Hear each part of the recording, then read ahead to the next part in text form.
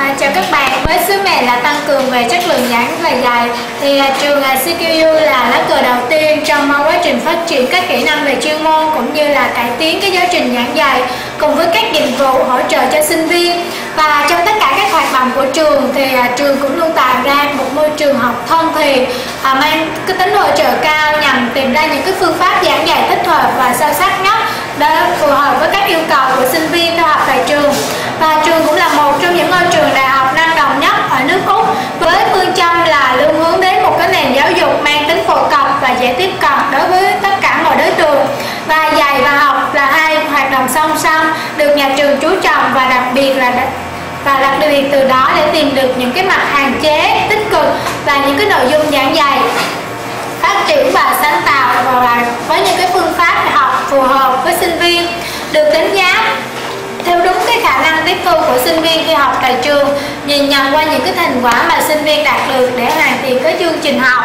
À, để làm được như vậy thì à, mỗi người thầy phải có trình độ chuyên môn cao và tính kỷ luật tốt và tích cực tham gia vào các hoạt định chương trình giảng dạy của trường nhằm đưa ra những chiến lược toàn diện cho hoạt động học tập và nghiên cứu tại trường. Trường cũng tự hào là đối tác tin tưởng của các ngành công nghiệp và cộng đồng khu vực. À, CQU cũng cam kết là mang lại chất lượng à, giáo dục và nghiên cứu tốt nhất để mang đến cái niềm tự hào cho trường nói riêng và cho khu vực trung tâm Welland nói chung. Sự đóng góp của nền kinh tế khu vực này thì được dùng trực tiếp hay là gián tiếp cũng đều mang lại cái cơ hội việc làm và tăng cường chất lượng lao động, thúc đẩy cái tính sáng tạo và tạo ra được cái giá trị và thông qua cái việc tăng cường kỹ thuật và tăng cường cái kỹ năng và kiến thức.